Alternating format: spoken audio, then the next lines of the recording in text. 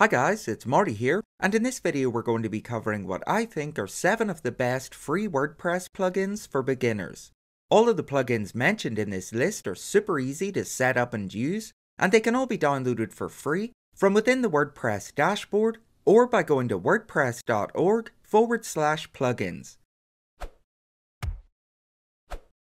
Okay, so the first plugin we have in this list is called Yoast Duplicate Post, and we can use it to duplicate both posts and pages on our WordPress website.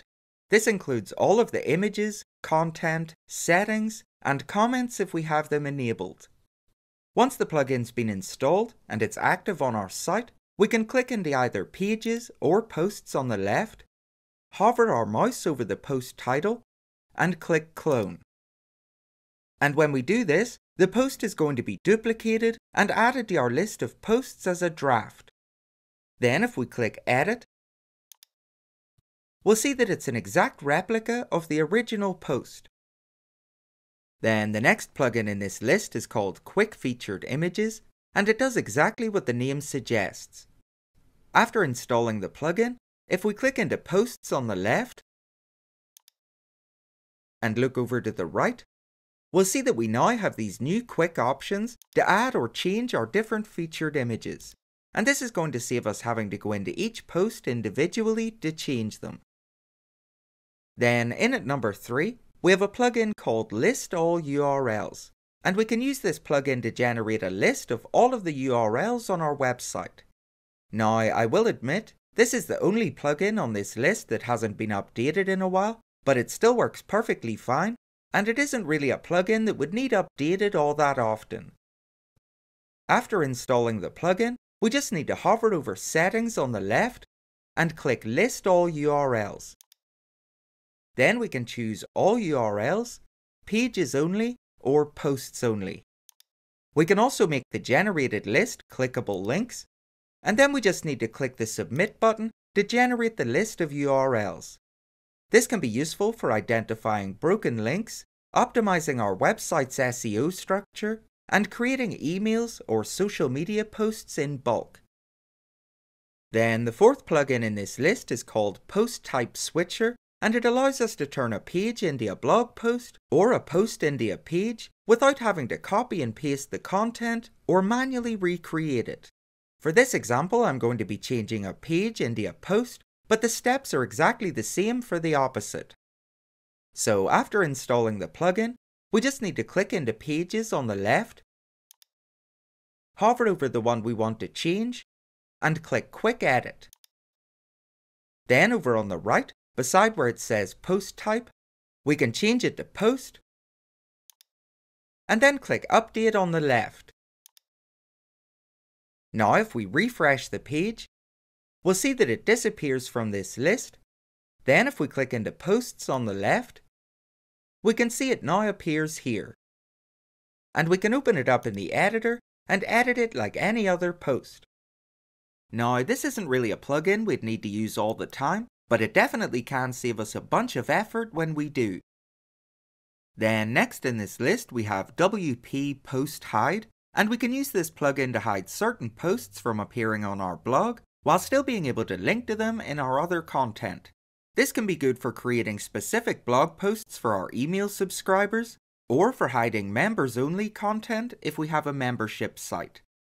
So after installing the plugin, we can click where it now says WP Post Hide on the left. Then we're going to check the box beside Posts and click Save Changes at the bottom. Then once it's saved, we can click into Posts on the left and open up the post we want to hide in the editor. Now if we look over to the right, under where it says Post Visibility, we can choose where we want to hide it from. So we have Front Page, which is our main blog page, then Category Pages, and Search Pages. Then we just need to update the post, and now it'll no longer show up in our blog or wherever we choose to hide it from. If you're enjoying this video so far, please give it a like here on YouTube to show your support.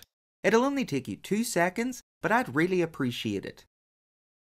Then in at number 6 we have a plugin called Post Types Order, and this one allows us to change what order our blog posts appear in on our blog and archive pages. By default, WordPress orders posts based on the date they were published, with the most recent appearing first. But with this plugin, we can choose to display our posts in any order we like without changing the date. All we need to do is install and activate the plugin. Then we can click into Posts in our left dashboard menu. And we'll see that we now have these arrows on the left. And we can use these to click and drag our posts into the new order we want them in. Then once we're done, we don't need to hit save or anything, it'll save the order automatically. And now if we visit our blog, we'll see that our posts are now showing in the new order while still keeping their original published dates. Then the last plugin in this list is called Filebird, and we can use this to create folders for our different images and media.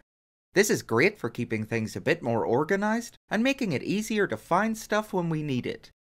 After installing the plugin, we just need to click into our media library on the left, and here we'll see that we now have the ability to add new folders.